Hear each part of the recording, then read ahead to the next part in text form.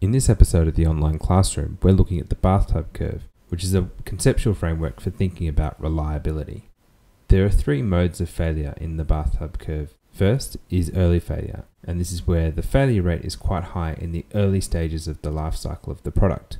A typical example of this might be a manufacturing defect, which means that a large number of problems occur early on. A second mode of failure is the wear out failure. This is typical in a mechanical system, for example, where over a long period of time parts get worn and failure occurs as a result of wear out.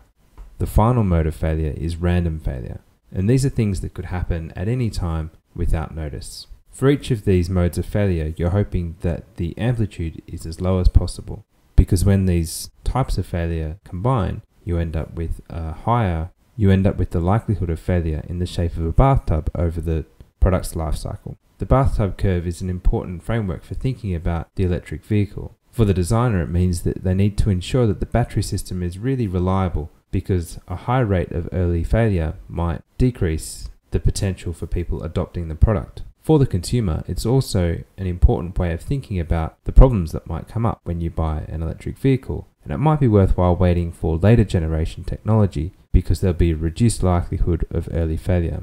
That wraps up the Bathtub Curve online classroom.